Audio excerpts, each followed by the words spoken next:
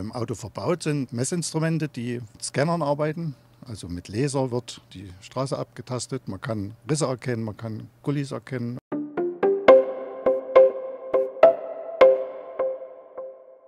Mein Tag ist heute richtig früh gestartet. Um 5.55 Uhr fuhr mein Zug in Köln ab Richtung Bempfling. Warum sind wir in Bempfling? Hier und in mehr als 170 weiteren Kommunen, in fünf Landkreisen und in der Stadt Stuttgart will die Telekom gemeinsam mit der Region im großen Stil Glasfaser verlegen. Und in Bempfling und vier weiteren Kommunen legt die Telekom bereits los. Spannend sind zwei Entwicklungen. So wird sich bei der Vorvermarktung offenbaren, wie groß tatsächlich hier und heute bereits das Interesse an Glasfaseranschlüssen im Haus ist. Und die Telekom wird zeigen, wie sie das gewaltige Ausbauprogramm stemmen will. Und zwar mit Hilfe künstlicher Intelligenz. Laut Bempflings Bürgermeister Bernd Welser wartet seine Gemeinde auf die schnellen Anschlüsse. Wir haben in Bempflingen leider im Moment die Situation, dass wir eher schlecht versorgt sind äh, mit Breitbandanbindungen und erhoffen uns natürlich, dass wir jetzt über die Aktion der Deutschen Telekom hier äh, einen breiten Zugang ans Glasfaser bekommen. Und in der Tat, in Bempflingen sieht es so aus, dass wir alsbald mit dem Glasfaserausbau starten können. Warum überhaupt eine Vorvermarktung wichtig ist, sagt uns Josip Nadi, Regionalmanager der Telekom. Uns ist es wichtig, dass bei einem geplanten Ausbauvorhaben die Technik, die verbaut wird, nicht umsonst gebaut wird. Und von daher nehmen wir die Vorvermarktung, um in Erfahrung zu bringen, wie die Technik nachher dann auch akzeptiert und genutzt wird. Diese Vorvermarktungsphase startet oder ist gestartet zum 1.3. und läuft bis zum 31.5. Und wenn in diesem Zeitraum dann eine bestimmte Anzahl an Vorverträgen zusammenkommt, dann wird auch ausgebaut. Was habe ich als Kunde davon, wenn ich direkt bei der Vorvermarktung dabei bin? Wir haben da eine kleine Entscheidungshilfe, so möchte ich es mal nennen, äh, mit, mit eingepackt in diese Vorvermarktungsphase. Und äh, diese Entscheidungshilfe bedeutet, dass die Kosten für den Hausanschluss, die normalerweise 799,95 betragen, erlassen werden in diesem Zeitraum. Äh, Nochmal konkret zur Vorvermarktung. Steckt da auch ein Ziel hinter? Das gibt es tatsächlich. Es gibt pro geplantem Ausbaugebiet ein, ein Ziel, was erreicht werden soll. Und wenn dieses Ziel nicht erreicht wird, dann ist es tatsächlich auch so, dass äh, der geplante Ausbau dann zu einem späteren Zeitpunkt erst stattfinden wird. In Almersbach am Tal hat die Vorvermarktung schon begonnen. Ich wurde hier mit richtig viel Magenta empfangen. Hier vor Ort ist Alex, unser Mann im Truck. Wie läuft's denn hier? Also wir haben hier eine sehr gute Resonanz, gestern eine Infoveranstaltung gehabt und haben sehr guten Zulauf heute. Bei schönstem Sonnenschein sind wir jetzt in Reichenbach im Tele angekommen. Auch hier hat die Vorvermarktung bereits gestartet und wir besuchen jetzt mal eine Bürgersprechstunde. Neben mir sitzt der Wolfgang, der schon fleißig die Bürgersprechstunde gemacht hat. Was sind so die Fragen, die hier reinkommen? Gut, in erster Linie natürlich das Thema Preis. Die Leute fragen, was, was kommt auf sie zu? Na, wir haben hier von der Telekom momentan relativ wenig anzubieten. Na, in erster Linie, wie gesagt, der Preis. Das zweite Thema ist die Technik. Die wollen wissen, wie geht es nachher weiter im Haus, wo kommt das Glaswasser hin, was muss ich wann, wo im Haus verlegen. Das sind so die drückendsten Fragen. Was ist, wenn ich Mieter eines Hauses oder einer Wohnung bin? Kriege ich dann auch, kann ich dann hier auch buchen? Man kann auch direkt als Mieter hier buchen, also das muss nicht der Eigentümer machen. Da haben natürlich die, die Mieter auch oft die Angst, darf ich das dann? Macht der Eigentümer mit. Ne? Aber wie gesagt, wir werden den benachrichtigen. Und wenn kein Widerspruch kommt, dürfen wir bauen. Auch in Reichenbach im Tele sieht es gut aus. Das Interesse ist auch hier groß. Mitte April wurde bereits die Quote erfüllt. Und auch die Ortsvorsteherin Clotilde Meyer-Brandt hat großes Interesse am Glas. Glaswasser ist für uns wichtig, weil wir äh, ein neues Baugebiet erschließen wollen, weil wir junge Familien am Ort halten möchten, sodass Kindergarten und Schule ausreichend abgedeckt sind auch für die Gewerbetreibenden, die wo schon lange sagen, bei ihnen kommt alles digital rein und raus, geht viel zu langsam, ist sehr wichtig, dass sie hier am Standort auch weiterhin bleiben. Während der Kollege Wolfgang Farian noch Interessenten berät, fahren wir weiter nach Heimading. Stichwort künstliche Intelligenz. Deren Einsatz beginnt mit diesem Fahrzeug. Das ist nämlich gespickt mit Kameras, Antennen und Servern. Wir stehen jetzt hier in unserem intelligenten Fahrzeug, was uns hilft bei der Planung unseres Glasfasernetzes. Herr Beuchel, was macht dieses Auto?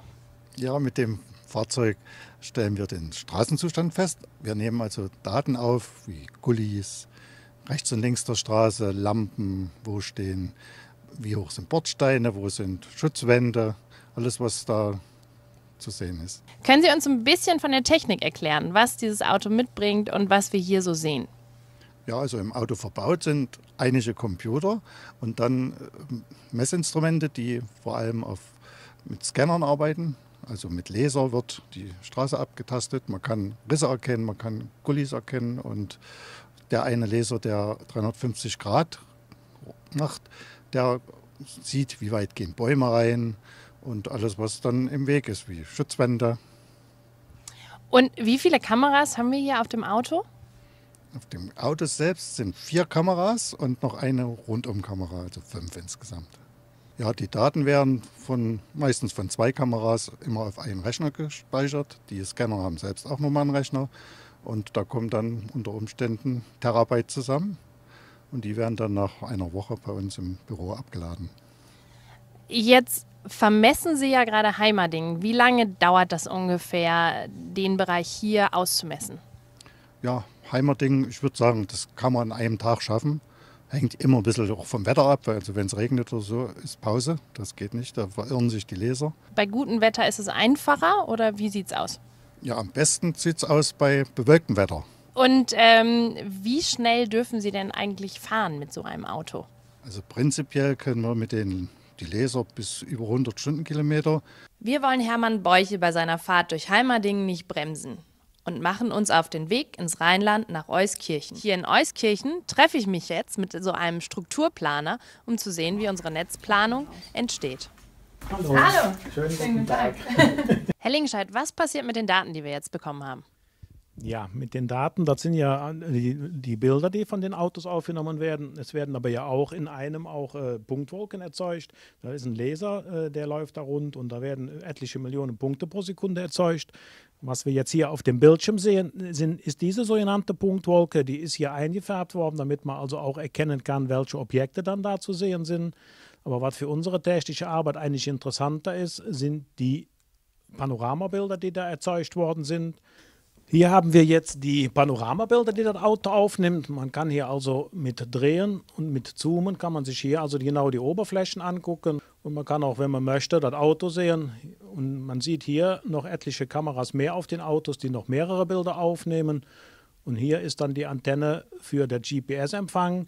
Nicht sehen kann man jetzt hier den Sensor, wo also die äh, Daten an sind, die das Auto aufgenommen hat. Und dann gehen die Daten dann zu dem äh, Fraunhofer Institut und werden dann da berechnet und wir bekommen dann da äh, diese sogenannten potenziellen Trassen. Was passiert dann, wenn Sie die Daten vom Fraunhofer Institut zurückbekommen? Das äh, ist also hier unsere Ansicht, die wir von dem Fraunhofer Institut zurückkriegen. Das ist also auch in einem QGIS-Projekt gespeichert. Und man kann jetzt hier anhand äh, der Farben kann man die Oberflächen erkennen, die das Fraunhofer Institut errechnet hat und hat dann äh, die Trassenlage gemacht. Und was wir jetzt hier nur so als Flächen sehen, als grüne Flächen, als braune Flächen und so weiter und so fort, das sind die sogenannten Stören, wo man also keine äh, äh, Trassen durchlegen kann. Und das müssen wir natürlich mit einer äh, äh, Qualitätskontrolle mal kurz übergehen, ob irgendwelche krassen Ausreißer da drin sind. Aber wenn ich das hier so begucke, ist die schon relativ gut, die Trasse, die wir hier bekommen. Nachdem wir unsere potenziellen Trassen jetzt qualitätsgesichert haben, müssen wir natürlich auch wissen, wo unsere Kunden sitzen, in welchen Häusern welche, wie viele Kunden sitzen. Und dafür bekommen wir eine Bedarfsliste. Und diese Bedarfsliste laden wir im ersten Schritt in unser Qualitätssicherungsprogramm, äh, in unser äh, Strukturplanungsprogramm ein. Und dann ist das diese Ansicht hier von unseren Bedarfspunkten. Jetzt kommt der nächste Qualitätsschritt, den wir machen. Und zwar gucken wir jetzt hier nach, ob irgendwelche äh, Baulücken hier noch drin sind oder ob irgendwelche Bedarfspunkte nicht in den Häusern sitzen. Wenn wir jetzt die Bedarfspunkte kennen, wie geht es dann weiter? Ja, jetzt kommt der Schritt, wo wir unsere potenziellen Trassen in unser Strukturplanungsprogramm einladen. Gleichzeitig werden auch noch äh, irgendwelche Sachen, also freie Leerrohre aus Megaplan mit dazu geladen. Und äh, das Strukturplanungsprogramm erstellt dann Verbindungen zwischen den potenziellen Trassen, das sind also hier diese gestrichelten Linien, zu unseren Bedarfspunkten hin. Wir müssen ja irgendwie von unserer äh, äh, potenziellen Trasse zum Bedarfspunkt kommen. Des Weiteren werden auch noch äh, Straßenkreuzungen angelegt, also an jedem Bedarfspunkt kommen eine Straßenkreuzung dazu und an allen Einmündungen oder Kreuzungen erzeugt das Programm also auch automatisch äh, Straßenkreuzungen. Ob die genutzt werden, wird bei der äh, Netzdesignberechnung nachher dann von dem Programm automatisch festgelegt. Und jetzt können wir loslegen. Jetzt ist der Zeitpunkt, wo wir loslesen können. Jetzt startet also unser Programm mit der Netzdesignberechnung und nach einigen Stunden oder anderthalb Stunden bis zwei Stunden kann man dann das Ergebnis der Netzdesignberechnung sich anzeigen lassen. Das sieht dann wie folgt aus. Wir können jetzt die gerechneten NVTs erkennen, das sind diese Punkte. Wir können auch auf den Blick erkennen, durch die unterschiedliche Farbgebung, welche Bedarfspunkte jetzt von welchem NVT versorgt werden. Ich zoome da mal weiter rein und wir können jetzt auch die verwandelten Trassen können wir auch wunderbar erkennen. Hier zum Beispiel haben wir eine Trasse, wo ein vorhandenes Rohr benutzt, benutzt wird und die roten, das sind also die, unsere Tiefbautrassen und das ist also das Netzdesign, was nachher auch draußen dann vor Ort gebaut werden kann. Ich fand es richtig spannend zu sehen, wie unser Netz mit Hilfe von künstlicher Intelligenz und menschlichem Know-how entsteht. Wie sich das Interesse an diesen Anschlüssen entwickelt, zeigen wir übrigens ganz transparent auf unserer Internetseite. Es ist wirklich fast so spannend wie die Hochrechnung bei einer Wahl. Ob alle die Quote schaffen? In Bad Cannstatt ist das Interesse aktuell sehr gering. Wenn ihr noch weitere Fragen habt, hinterlasst uns gerne einen Kommentar unten und über einen Daumen nach oben freuen wir uns natürlich immer. Und damit ihr nichts verpasst, abonniert ganz schnell unseren Kanal.